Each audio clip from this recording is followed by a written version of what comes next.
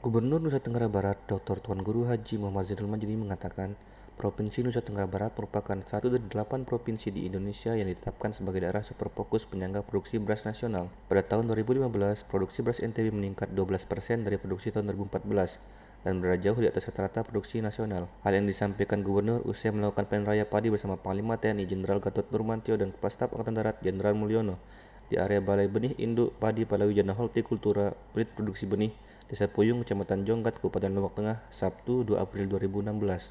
Menurut Gubernur, sekitar 47 persen angkatan kerja di NTB terserap ke dalam sektor pertanian. Dengan kerja keras dan kesungguhan para petani inilah, maka NTB setiap tahun mampu menghasilkan produksi yang melebihi target secara nasional.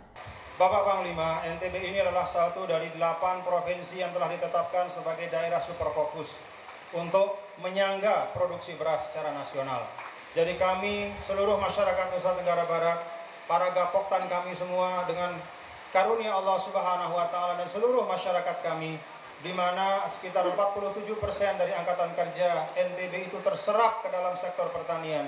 Jadi 47% dari masyarakat kami angkatan kerja bekerja di sektor pertanian dan mereka lah yang dengan kerja keras mereka, dengan keringat, dengan kesungguhan, alhamdulillah selalu setiap tahun menghasilkan produksi yang melebihi target secara nasional. Selain kegiatan panen raya padi, di tempat tersebut juga dilaksanakan penyerahan alat dan mesin pertanian secara simbolis oleh Gubernur Nusa Tenggara Barat kepada Dandim 10 Lombok yang diwakili oleh Dandim 1696 Lobar dan Dandim 1620 Loteng.